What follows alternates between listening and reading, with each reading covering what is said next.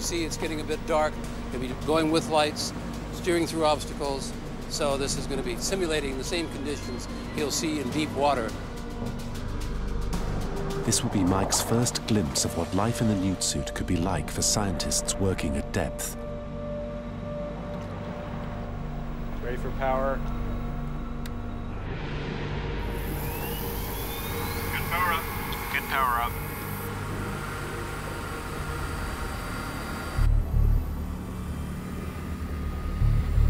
The Iro is a 50-meter Japanese merchant ship sunk during World War II by American bombers.